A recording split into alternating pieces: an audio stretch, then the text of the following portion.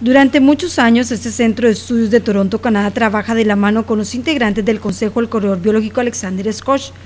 Ahora, en una propiedad que poseen en las nubes, están construyendo un centro de investigación con una inversión que ronda los 600 mil dólares, es decir, más de 300 millones de colones. La obra inició en mayo y se espera que esté finalizada a finales de este año. Es una finca que tiene la Universidad de York, son una área de 124 hectáreas de bosque, ahora tiene un una área de 12 hectáreas más, que es el Ecocampus de York.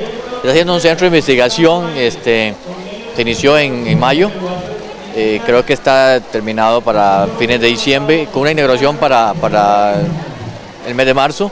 Es un centro que, que se hace más que todo para la investigación científica, ya se ha hecho desde el año 99 hacia acá, pero ahora con un centro pues va a tener un espacio con una mejor eh, disponibilidad para, para, personas, para investigadores. La intención es que se convierta en un espacio para la investigación, realizar talleres y seminarios, entre otros. La universidad ya son 15 años de estar aquí en esta zona, ha hecho muchas investigaciones, más que todo investigaciones científicas. Ahorita eh, se colaboró con unas computadoras a la Biblioteca Santa Elena, ahí hay internet, y escuela que comenzó con los festivales ambientales de Alexander Skash. Y pues lo que, lo que más se quiere es para ver qué se puede hacer con el tema del ambiente, el tema del cambio climático que ya se está viviendo, ya se están sintiendo en todo el país y el resto del mundo, entonces para ver qué podemos hacer.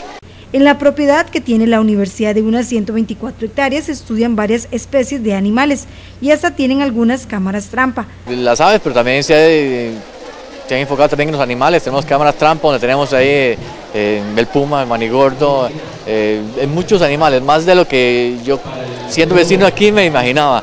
También este, en lo que es investigación sobre cuánta área de bosque, cuánta área reforestada, cuántas fincas están participando con, con pagos de servicios ambientales, cuántas este, fincas son integrales, cuántas eh, finquitas están, digamos, viendo futuro en un turismo rural, o cosas así. El tema del agua, eh, qué calidad, qué cantidad de agua hay en esta zona. En, la parte comunal, la, la gestión comunitaria. Se espera que pronto esté concluida la obra y que este lugar sea abierto a la comunidad.